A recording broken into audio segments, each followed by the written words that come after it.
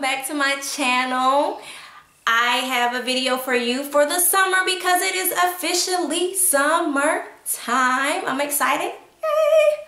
Um, so this video is not a what to do when you're bored during the summer because people are doing those all the time.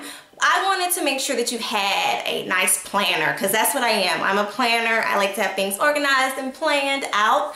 So I have a DIY for you to keep things planned out for the summer. And then I'm gonna give you some ideas of what you can actually put on your summer fun to-do list planner.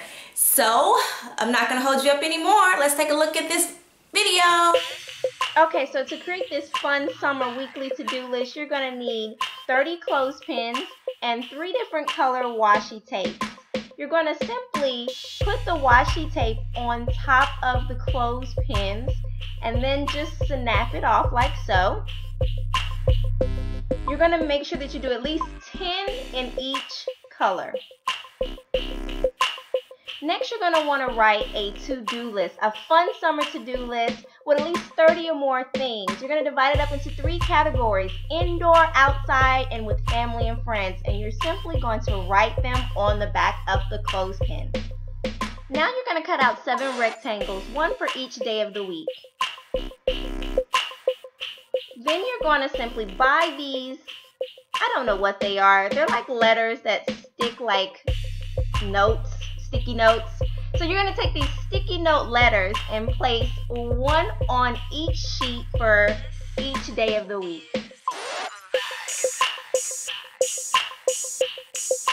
I realize that you're going to have to add some glue to the back, so make sure that you add some glue to the back so your letters won't be sticking up, flying in the air. Then you're going to take some ribbon, ribbon of your choice, and you're going to measure it out the length that you need for all seven days. I used tape to tape the letters onto the ribbon. It was pretty easy doing it that way, and that way I could just simply take them back off once summer is over and use my ribbon for something else. Now, here you go. Next thing you have to do is just hang it up on the wall. I put these in a nice container. You're to simply pull some out. See where you want to place it on your calendar. There you go. Awesome. For indoor activity, a spa day would be great. It's time to treat yourself, relax, read a book, have a little bit of me time, you time, we time, and you can also add a friend or two to make this oh so much more fun.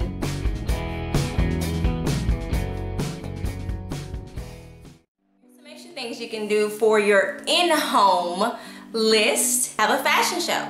Have a fashion show with your clothes. Make up new outfits. Take pictures, walk the runway, even record yourself. Hey, you're at home probably by yourself. You know, you can make it a family event if you want to make it a family event, but that's a cool idea. Have a sleepover. Have a sleepover with your girlfriends. Pretty sure you haven't did that in a while. So have a sleepover with your girlfriends. Tell the family, everybody hit the road and you enjoy some times with your girls.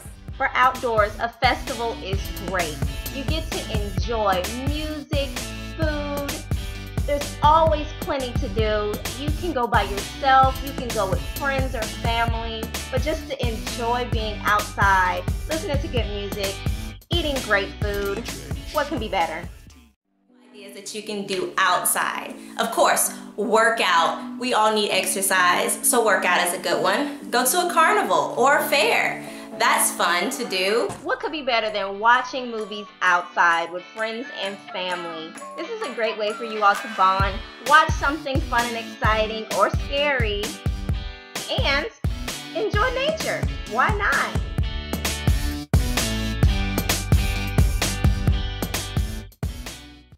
Things that you can do with your friends and family outside. You can have a water fight. Go and get some super soakers, some balloons, even some crazy little toys that you can use with the water hose and have a nice fight. Maybe art day. You can have an art day where you and your friends try to make portraits of each other or yourself or something really creative outside. Get inspired by nature maybe.